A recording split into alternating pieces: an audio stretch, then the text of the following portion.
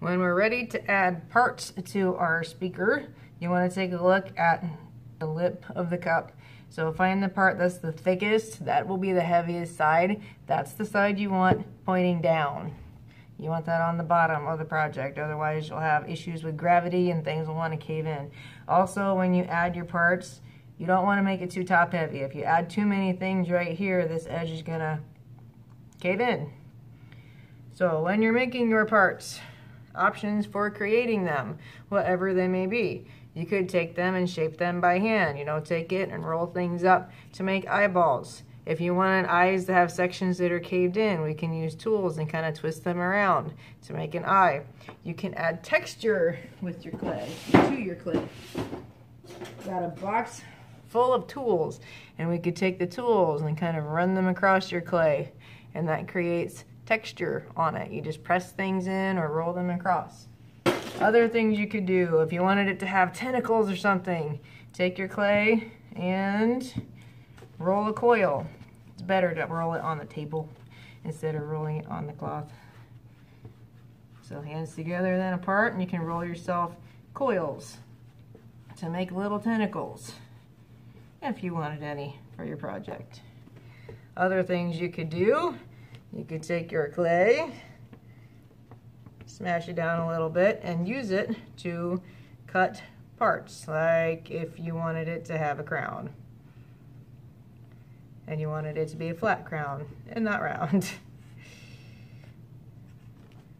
so the loop tools, especially the really thin loop tools, are really good for slicing up parts. And especially things like this, if it has really rough edges, we take a sponge that's wet, get it wet at the sink and squeeze it out at the sink. And you can use that to smooth out your pieces. And while you're working, don't forget that carving is also an option to decorate. So draw where you want to carve, and then take the tool and just gently push down, and you should see clay falling away. You can always smooth it out with a sponge. Now that I have all of my parts, I'm going to attach them using the score and slip method. So you'll have this bucket full of wonderful, ever so gooey clay. You're going to dip a toothbrush in there because this will do the scoring. Scoring means you're roughing up the surface of the clay and giving things something to stick to. So I'm going to score where I want this to go, and make sure I got a little slip on there, and score the thing that's getting attached and then you press them firmly together and try to wipe away any excess that you don't need. You can use a sponge, or if you can't get in there with the sponge, you can use a loop tool. So now I have an eye on my guy, and repeat that for any parts that you're going to add to your creature. Please remember when you're adding your parts to your monster, you can't put anything in this back section, like the last inch and a half between the base and the front. You can't put anything there when you attach parts because once all your parts are on your beautiful creature, then you might need some help with this. I'm gonna draw a line.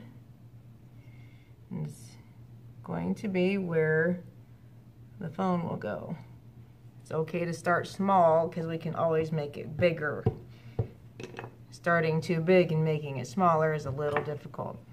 And once we have that on there, then we will carefully slice it out. And as I said, if you need help, then check with me and I will help you.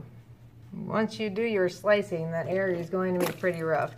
So you want to take a squirt bottle and get it pretty wet and then use your finger to kind of smooth things over because anything that is rough now will slice you after firing.